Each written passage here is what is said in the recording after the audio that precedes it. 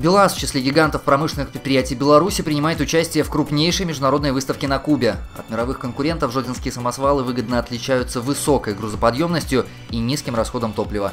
Из Гаваны белорусская техника отправится покорять весь латиноамериканский континент.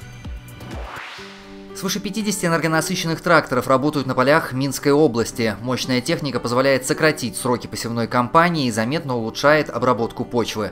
Каждая машина обладает двигателем мощностью 360 лошадиных сил и бортовым компьютером, который следит за исправностью всех агрегатов.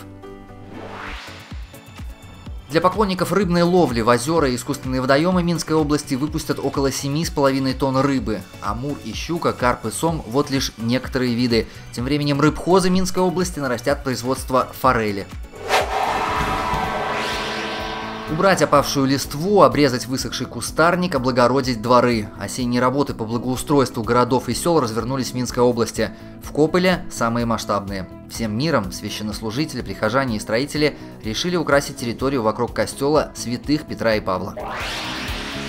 Млынбай. Новости, достойные внимания.